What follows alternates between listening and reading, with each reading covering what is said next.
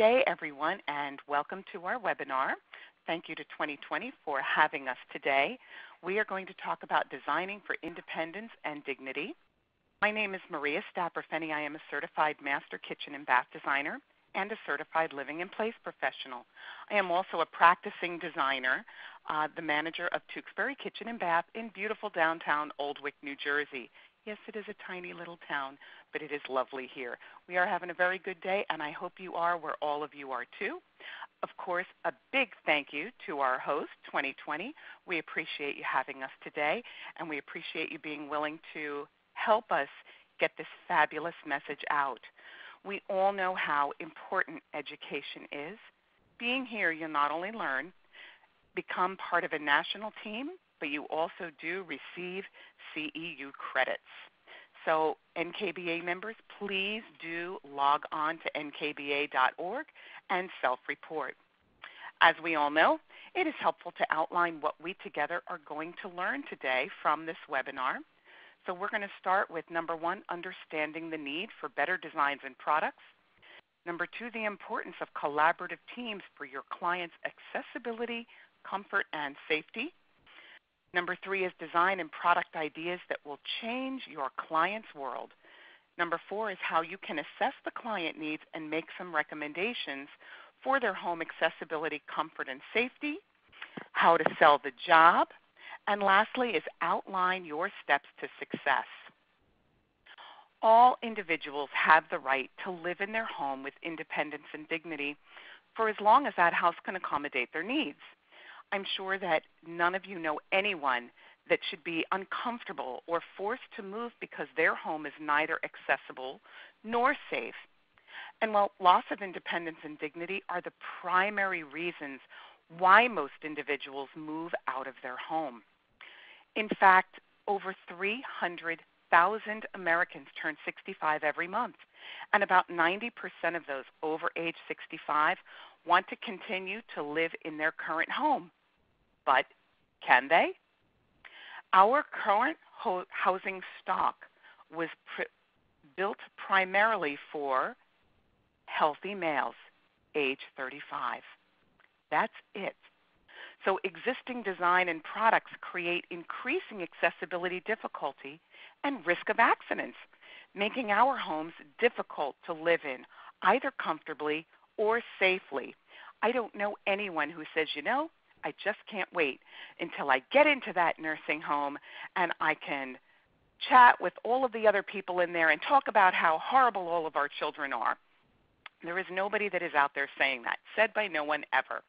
And here's what happens in the 100 year life cycle of a home because we know that as design professionals or any kind of a professional that has influence over a living space, we are actually furnishing that home for its occupants. So it's why it's so important to focus on the house itself. So you can make a difference now in all homes through professional education using these correct assessment tools and networking for accessibility, comfort, and safety. So if we look at this really quickly, the average family will live 13 years in a home, about 20 individuals in about 100 years. So including visitors, you've got about 6,000 individuals active in that home.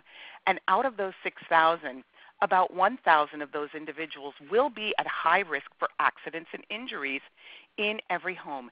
And as somebody with influence over a living space, you have the ability to make a difference today. Now, I do see two hands raised. Please feel free to use the chat window if we can help you out. With so many people on our call, we're looking at about 380 people today, and it's only going to increase um, we had to keep our attendees muted for the moment. Now let's look at the cost of falls in our home. In 2013, the direct medical cost of falls were 34 billion with the B dollars. This is like throwing away money because many falls can be prevented. And if you think that's a lot of money, by 2018, these costs are anticipated to increase to $68 billion per year. And these are just the direct costs. The indirect costs of a fall are in addition to these billions and include lost productivity, impact on the family, immediate changes to your home, and the possibility of having to move into a more expensive assistive care environment.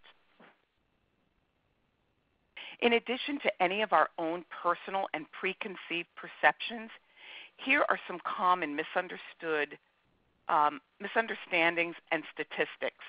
So I'm going to go through these pretty quickly. Denial of our own condition is natural and it's dangerous, but here's some of the things that are common. Oh, people with disabilities are all older adults. Well, we know that's certainly not true. We only have to fix home for those who need it. Well, we know that's certainly not true as well. It won't happen to me. Everybody who thinks this way, which is almost everyone at this point, is now entering that great state of denial. We know that it is more than the river in Egypt.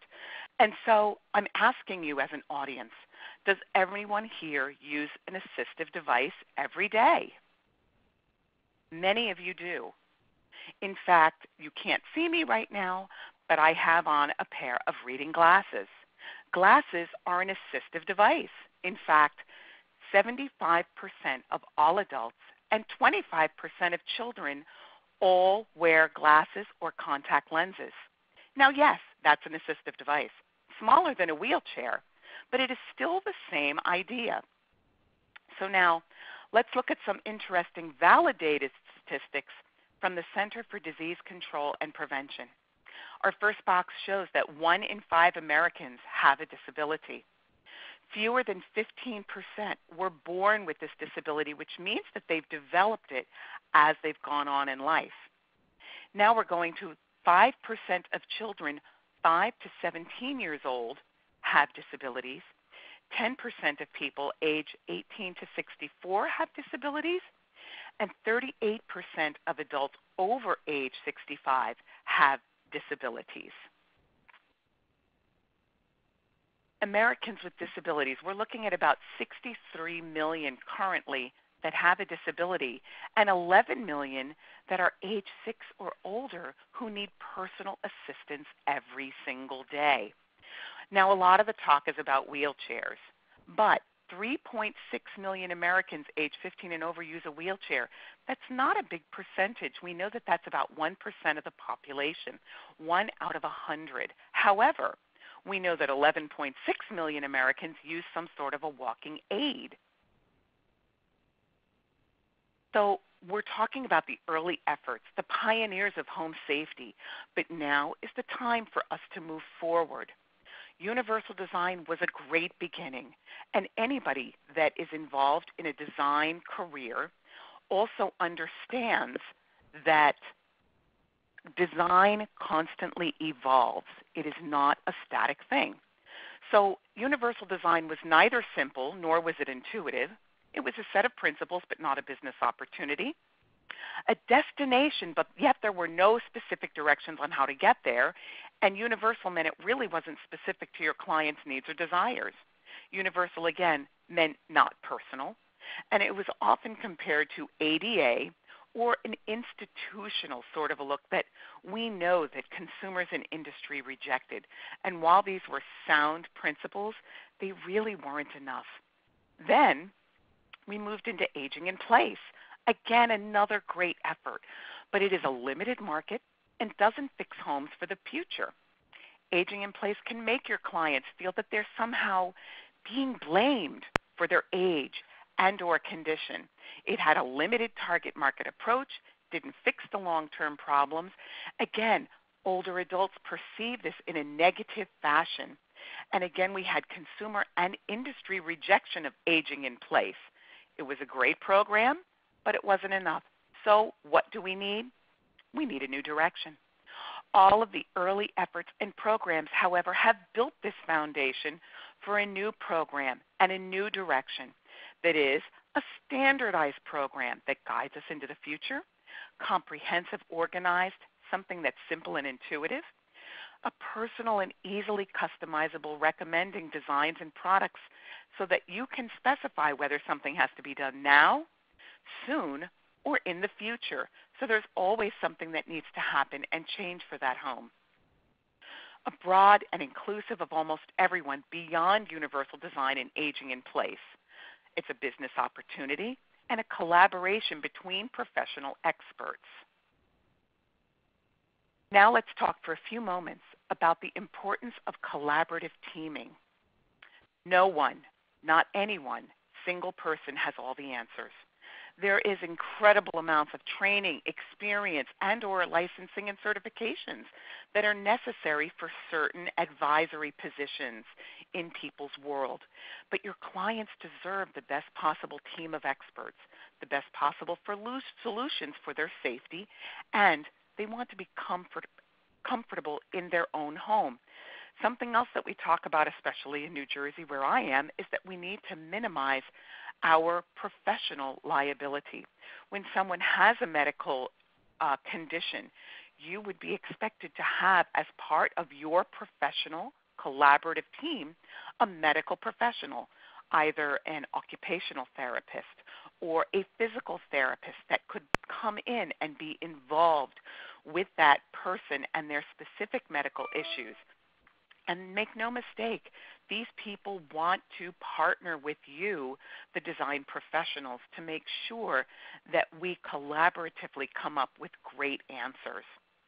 Interprofessional networks is uh, interprofessional collaboration, let me start out, is the new black. And each team member has specific experience, and only through this responsible collaboration can we really achieve this goal. Now, we've put this in a pie chart for accessibility, comfort, and safety. And not that I get all OCD and I want to list them alphabetically, but I do put accessibility first and safety last because without these bookends, your client can never, ever feel comfortable. So let's talk about accessibility for a moment. Accessibility is the ability of a home to allow these individuals to enter, move around in the house, and function comfortably and safety.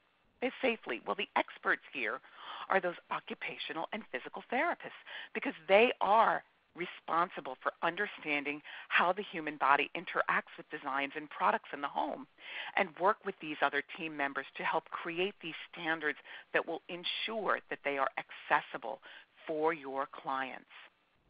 Comfort is how well the individuals perceive, accept, and value home design and products. Well, the experts here for this part of the collaborative team are your design professionals and contractors.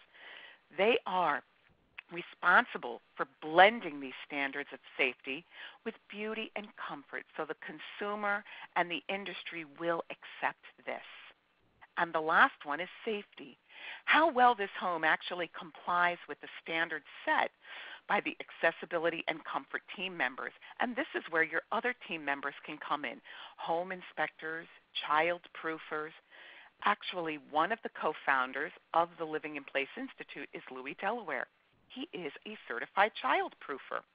He has published several books on the subject, and people contact him from all over the world to do consultations on child proofing their spaces.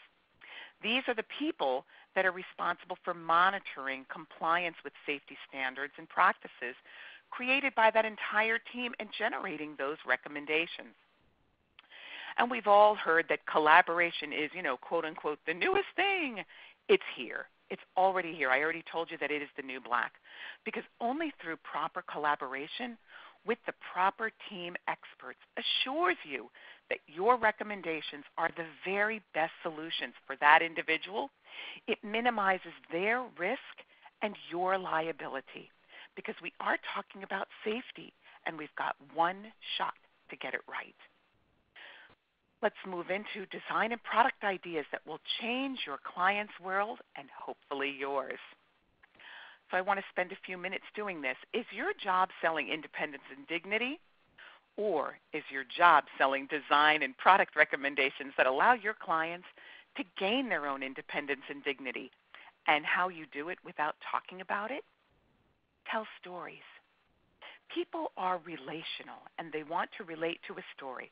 Not everybody wants to be told what to do, but they can relate to a story or um, something that has happened to you or somebody that you know, whether you've actually experienced this firsthand or whether you've sort of geared that story to help that client achieve a better understanding.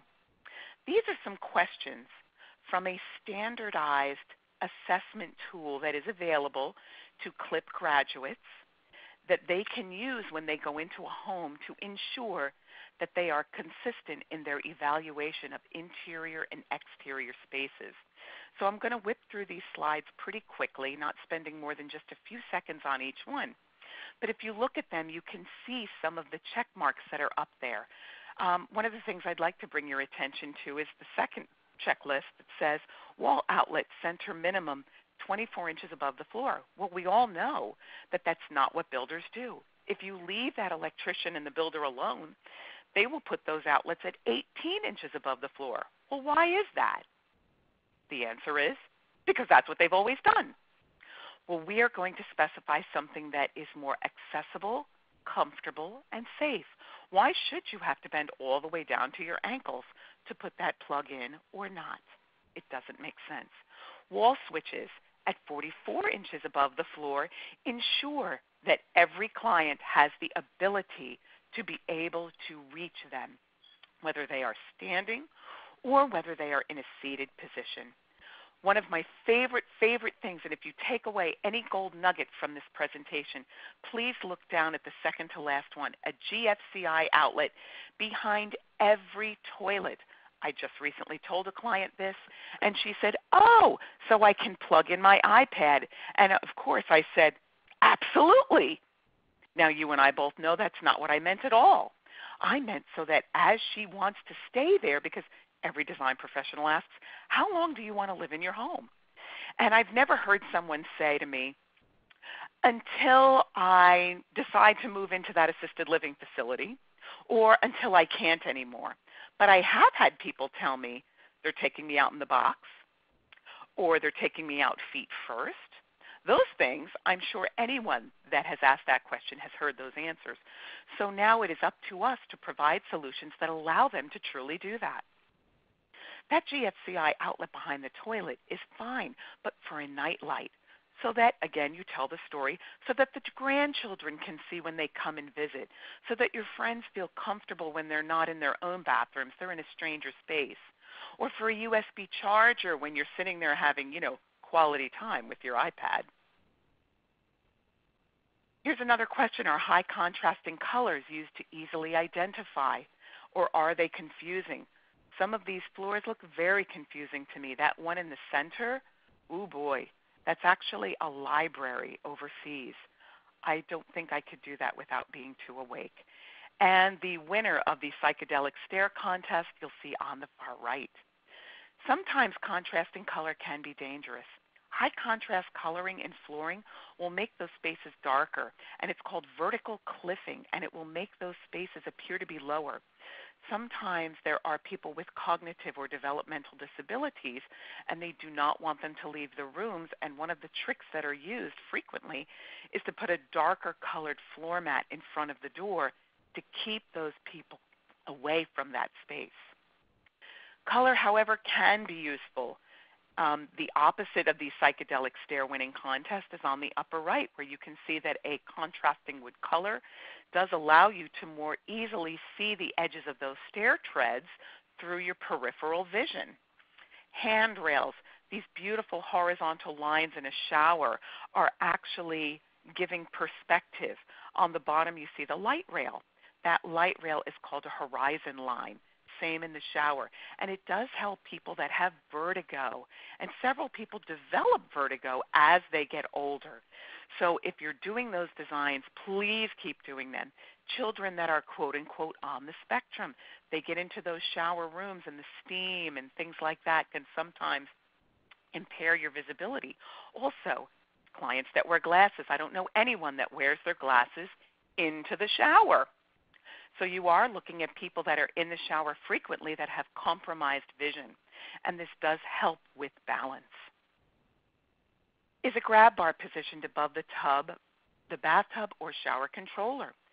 you have the ability to specify that that controller can be something that, again, is not where your plumber would want to put it underneath that shower head, but it is accessible to that client before they actually enter the space so that they don't have to put their hand potentially under some scalding water in order to decrease the temperature of that water.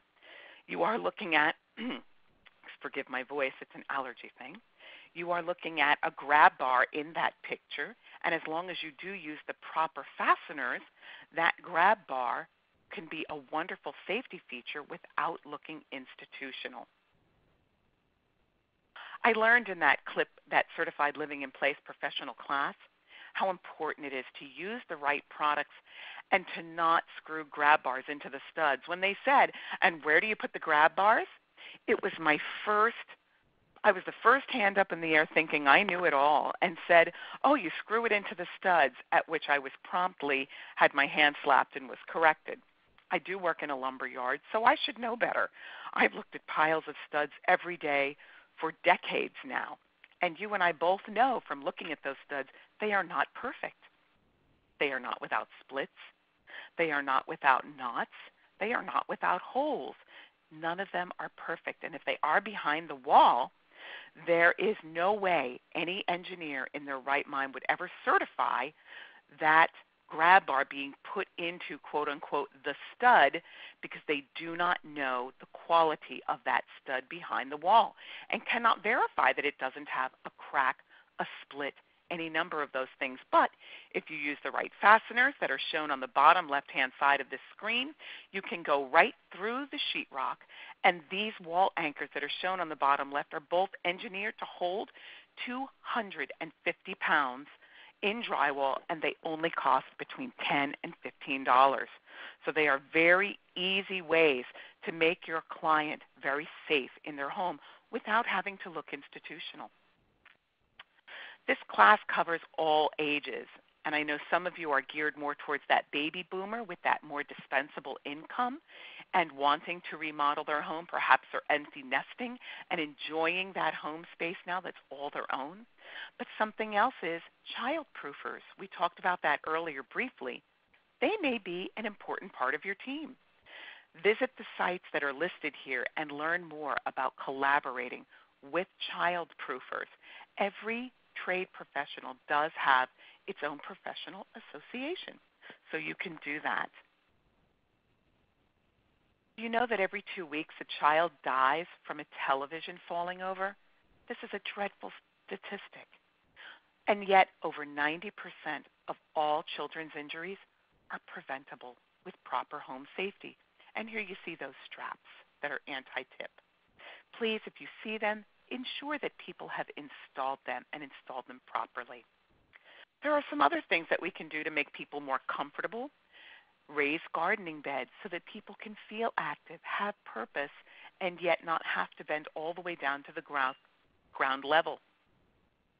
Ramps are difficult to calculate. There's no two ways about it. The class I took gave me this simple formula. It's right here, and now I know that three steps need 45 lineal feet for this ramp. Recessed area rugs create a tripping hazard. Or, um, I'm sorry, recessed area rugs actually eliminate it, but can be a challenge to install. The picture on the right shows what you should do with throw rugs. That is Living in Place co founder Erik Listou on NBC television, and he is showing you what to do with them throw them away. And yes, in case you're wondering, every December he and his wife put on red suits and bring smiles to thousands of children of all ages. So here's some valuable information for all of you from the National Kitchen and Bath Association about the dimensions in a kitchen and the criteria about what is minimum. Now, minimum is just that a minimum recommendation. Obviously, we always hope for more space and I think so do your clients. Here's some other slides. Are the controls for all of these large, easy to see, easily accessible? And again, we talk about some of those freestanding ranges where the controls are all the way up in the back. And yes, I understand from some people that have told me, well, that's so children can't reach them. But then that means that you, the adult, especially me in my vertical shrimpiness, um, are putting our hands over potentially scalding um, pots and pans to be able to turn those controls off. So please do consider that things can and should be easy to clean with that lovely easy surface and induction cooking. If you haven't experienced it, might I recommend you go to your favorite appliance place and ask them for instruction about induction cooktops, how clean they are, how sleek and easy to use, how professional they are, how energy efficient they are, and they're a great thing for living in place because it is not accidental that someone can leave it on and have a dangerous situation. Here's some examples creating areas to set items down when there is insufficient counter space nearby. We know that not, uh, not every kitchen gives us the optimal space to be able to put things down. And here's some creative solutions, and I'm sure many of you know of others. The countertop edges, do they have a contrasting color to help with visibility? And again, there's some people that have um, visual issues, they can only see better through their peripheral vision. The countertop actually on the right is a metal edging that is sprayed applied metal. And what's interesting about that is there are no edges to trap the debris, so it's a very clean way to give that metal edge. What about the sheen of our countertops? We know that for so many people, especially in that baby boomer market, they have dreamed of owning that granite kitchen countertop or that new quartz countertop. But veiling reflection and dangerous glare those light of the reflection off of that surface causes a loss of contrast and visual discomfort, and sometimes it can cause a blinding after image. So we want to make sure that when someone is going to spend as many years as they can in that house, we allow them to do that by giving them lower reflective surfaces so that they don't have that beautiful task lighting under their cabinets and then are squinting from that blinding glare that comes back to their face. The hardware, do they have C or D pulls or push to open mechanisms so that fingers don't get caught in a knob or handles that will catch those clothes? I understand that we all know that right now many of our manufacturers tell us that the most popular cabinet is the white painted shaker look. And what is the most popular hardware? That long steel bar pull that has those finials on the end. But think about the fact that you don't want those to be pocket grabbers, which is what I tend to call them, where they grab at your clothes and they pull at them or they rip your your your closets and actually or your clothes. And when people get older, remember that their skin gets thinner, so they will bruise more easily and cut quicker than they would when their skin is younger. Beaded stair lifts. Well, we do know that we also want more space in hallways and more space and width in our stairwells when we have the option to make that recommendation to our consumers. Why do we want more room? Well, we don't tell them it's necessarily for a stair lift. That's also not the reason we tell them that they should have the outlets at the top and the bottom of the stairs. Of course, the story we tell is that it is wonderful to have it there so that they have an easier way to plug in the vacuum when they're vacuuming the stairs or cleaning the stairs. But how convenient is it that if they should ever need a lift in later years, that the outlet is right there and convenient and comfortable. Also, the wider stairs, it's not so that they have the room for the stair lift. Again, the story that we could tell, or any version of it, is that if you're carrying a sleeping child up the stairs, you don't want to have to go up sideways or uncomfortably, or carrying that laundry basket up. So I hope that you're seeing the ways that you can talk about these things and getting these consumers to accept your recommendations without having to quote unquote talk about it. Structural concerns, especially for individuals over 250 pounds, and we're categorizing that as persons of size. So we want to make sure that when we mount products into the walls or ceilings that they're going to hold that weight required. And sometimes that may require extra installation methods and work to prevent the failure. And if you're not sure, always consult that structural engineer that is part of your professional collaborative team. Again, you've got one shot to get safety right. Your sink, bathtub, and shower faucets are they easy to reach? And again, preventing slipping or bending. We see some beautiful um, grab bars mounted in this shower. However, with the proper fasteners and diameter, that handheld slide bar could have also been a grab bar because when somebody's going down, they're going to grab for anything that they can. And I want you to note the horizontal tile line for reference and proximity to that wall.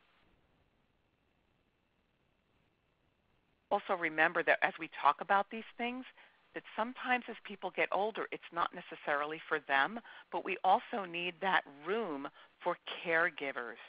We would like those hallways to be a minimum of 44 inches wide and stairs 44 to 48 inches wide.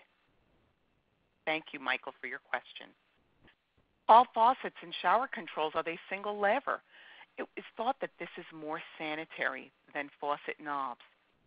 Dirty hands touch the bottom as they lift it to turn it on, and they tap the top with clean hands to turn it off.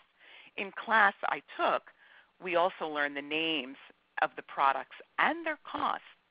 Now, if you have that client that is OCD, remember that there are also touch faucets and touchless faucets because you are designing for everyone. These are sanitary, they're convenient. My mom has osteoarthritis, rheumatoid arthritis, and fibromyalgia. I can't tell you the amount of times I have seen her grab a spatula and whack at her faucet to turn it on and or off. So I did get her a touch faucet so she can just take her forearm and touch the top of her faucet to turn it on or off. She refuses to not be active in her kitchen, but this is a way that we can all help her live safely, accessible, and much more comfortably. Can you see inside the cabinets and drawers? Many of you have seen these sort of lit cabinets when you go to trade shows, but why not include them and incorporate them into your jobs or your clients' home designs to make visibility inside those cabinets easier? You're working so hard to give them accessibility to the contents that let's not forget about the visual element.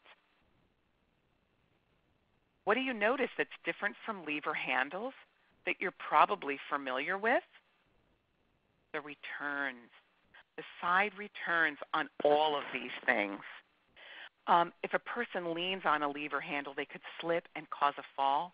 So that return gives them a little bit of extra grip so that their hand doesn't fall off. And it also can stop from being that, that pocket grabber that we talked about, or grabbing your clothes or your purse or something else from catching. Something else that's another wonderful thing interior passage doors swing out from the room. Now, I know that most of these should be done for the powder room, the powder rooms especially. Now, everybody's going, oh, but the powder room is accessible to the hallway.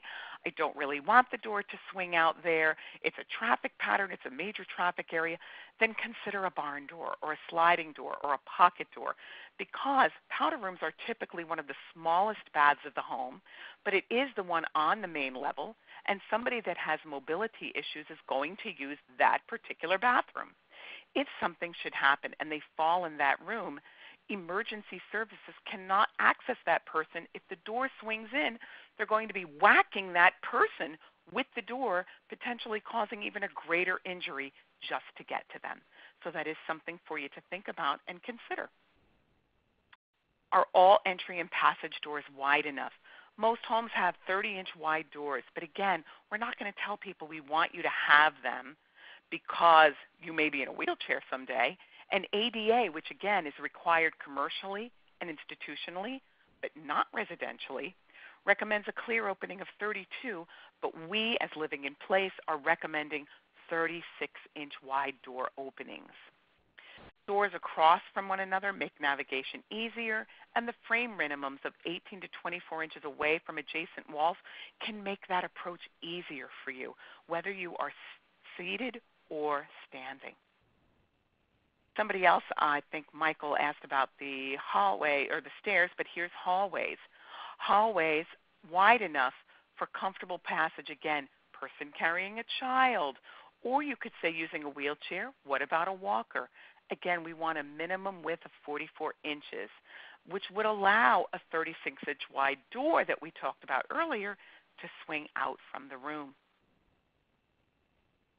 Stairways and pathways. Consider recessed lights. And I love this bottom left photo where they've added LED strips. They rabbeted out the bottom of that handrail and put those LED strip lights so that whether you're going up the stairs or down the stairs, the light is not shining into your eyes. I thought that was brilliant. Also, please consider the switches and the outlets and the cover plates. Are they easy to see? Colors and contrasting. Again, people in their bedrooms, not necessarily with their glasses on. So these are all things worth considering. Let's move into the next section, which is how to assess client needs and make recommendations so that you can have this home accessible, comfortable, and safe. Use an electronic checklist. Make the best possible designs and product recommendations. And as you go through these questions, prioritize these as to whether someone needs to do it right now, immediately, whether they need to do it soon, or whether they need to do it in the future, because eventually all of these things need to happen. We do want those hallways to be widened. If someone doesn't have those mobility issues, maybe that's not a now thing, maybe it's a soon thing. So you are actually creating work for yourself by providing that person with what needs to be done now. They will call you back when it's something soon or in the future. And again, choose only the areas you want to review and minimize your client risks and your liability. Again, the equipment needed for that um, home accessibility, safety, and assessment tool works with Apple iPads. And again, this is something that, as a certified living in place professional, should you choose to take that next step, um, you have the ability to subscribe to this, and it works with tablets. It has it should have a rear-facing camera so you can look at the screen, and the tablet screen should be at least eight inches so that you can use your documents and notes for viewing. These are some screenshots from that to set up your report. Choose some of the areas that you're going to assess. These are all prompts that will come up in that app. And here you can see that we've chosen general home safety on this slide. There's a question at the top of the screen. Is there an emergency contact name and number programmed into everyone's cell phones? So if not, that's something that needs to be done now. And you can add a photo, add a voice note, add some notes on this tool, recommend when the work should be done, recommend that trade professional, add your photos, and add your notes. So you can go ahead and take a photo of something and add all kinds of drawings to it, add your client's signature, and go ahead and send that report right to the web. This app is called the HASAC, and HASAC is an acronym for Home Accessibility and Safety Assessment Checklist. And that's the name of the app again, HASAC, H A S A C. Thanks, Shelley. So you again choose the reports that you want to choose what's now, what's soon, what's future, and what's the full report. And you can go ahead and email each one of these to your professional collaborative team using the questions, when, the notes, the photos, and go ahead and send it right on. So there's five different reports created with this should you choose to do it. And you have the report full with medical issues. And again, remember that if we're talking about medical issues which could be specific to your client, they should only be used by a licensed medical practitioner with the client signed HIPAA release. When you present these assessments to your client, show those now, soon, and future reports separately. Review it with them, and remember not to share medically sensitive information, again, without that HIPAA release. You can go ahead and send these out to the rest of your collaborative team an email when there's any kind of special sensitive report. So that's a way to be able to do that. It really is easy to use because all you need to do is just answer a list of questions. But wait, there's a little bit more. Now you get to sell the job and stay in business. So here's some key marketing and business components that you have to know to make that sale. How the value of your designation and any certifications that you possess. How to identify your products and services. Understand why you're offering that service. Identify your market segment. Gain a knowledge of that buying process. Analyze what you can charge for your products and services and how to increase your business opportunities. Very few clients are going to want to talk about their physical needs. In fact, most deny that they need any help. Oh, no, no, I don't need that. That's what they'll say. But remember the slide earlier where we learned that almost 20% of our country has a disability and that 75% of us use an assistive device, you know, again, those glasses that we talked about? Most of your clients, you're going to need to tell these stories, like I've been sort of interjecting, about what they really need. And these are ways to do it without talking about it. So you say something like, Dad, you need to replace that towel bar in your bathroom with a grab bar so that when your friends come to visit, they can use that and help prevent a fall. So again, we're talking about the fact that most people we know will not do it for themselves, but they will do it for their friends, they will do it for their relatives, they will do it for their visitors. If you install a no step shower now, your mom is going to be able to stay longer. Well, for somebody that can be good or not so great. Everyone is using no touch faucets. Don't worry about it. It's great. Everybody's using them now. Another way to get somebody to do that. Or most new bathrooms have a night light behind the toilet. It's just a wonderful safety feature, and you don't have to turn on that room light and wake yourself up in the middle of the night should you have to get up. It's a great way to sell that one additional outlet behind the toilet, which is wonderful. In fact, I never let a client put in a new bathroom without calling out an outlet behind the toilet. And I hope that after this webinar, none of you will allow that to ever happen again, and everyone will have an outlet behind the toilet. So let's move on to your next steps to success. Let me give you three simple steps for you to take. These steps are going to help all of your clients gain the independence and dignity they deserve without talking about it. So, are you ready to be part of the solution? Here we go. The first one is make a commitment to be a problem solver. Okay? I know all of you are going to be ready to do that. Step number two all of the organizations that you see here are asking to be a part of your interprofessional collaborative team. Designers, the NKBA, ASID, IIDA, IDC, the medical community, the American Occupational Therapy Association, the American Society of Home Inspectors, home builders, remodelers, architects, and this list goes on. Okay, are you ready to learn more and take the education course that are approved by all of these associations? Check that box. Next, are you ready to create your own collaborative team to help you solve these problems? Wonderful. Now I can see some great business opportunities are starting right now, and there's only one more step for your success. Are you ready to make all of your projects accessible, comfortable, and safe for everyone? Awesome. Thank you. I really appreciate that and congratulations to all of you because you're now ready to move forward with your business and your professional team and make everyone's lives better now, soon, and in the future, remembering that 100 year life cycle of a home for 6,000 people that will walk through that door. So, takeaways from this presentation, just in review.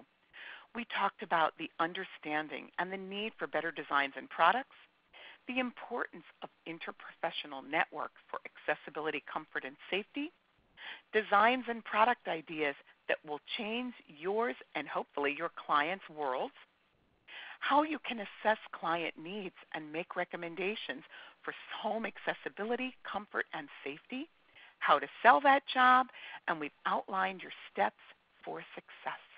And I appreciate all of you for coming here and your interest in wanting to make your clients' home safety. A big thank you to 2020 for having us here today. I'm going to stay on the line a few more moments to answer any questions that you may have, and I appreciate all of you. Thank you so much for coming.